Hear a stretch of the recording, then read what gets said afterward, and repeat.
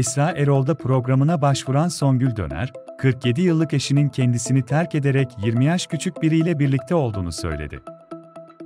Canlı yayına bağlan Muzaffer Bey ise, ben zeki ve yakışıklı biriyim.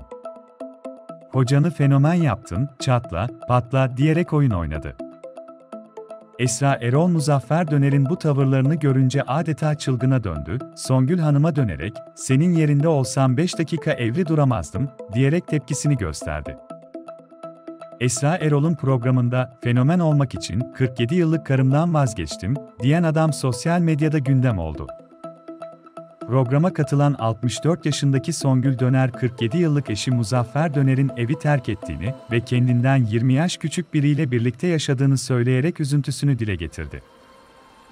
Eşi Muzaffer'in sosyal medyada fenomen olduğunu söyleyen Songül Hanım, 47 yıllık evliyiz. Ben ona ömrümü verdim. Çocuklarımız ve torunlarımız var, dedi. Kısa süre içinde eşi Muzaffer Döner'e ulaşan Erol, duydukları karşısında şoke oldu. Canlı yayına katılan Muzaffer Bey, zeki ve yakışıklı olduğu için fenomen olduğunu ifade etti. Hocanı fenomen yaptığın için çatlayacaksın, patlayacaksın. Oh yarasın canıma canıma. Sen çatla, seni bitirdim, boşuyorum diyerek canlı yayında oyun oynamaya başlayan Muzaffer Bey sosyal medyada gündem oldu.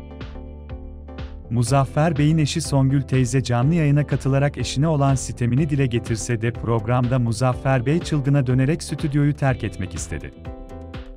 Muzaffer Bey canlı yayında eşine, "Beni niye getirdin buraya? Sosyal medyada fenomenin ve şöhreti sonradan yakaladım. Eski eşim benden ne alabilir de böyle konuşuyor. Şimdi ben çok yakışıklıyım ve karımı istemiyorum." dedi.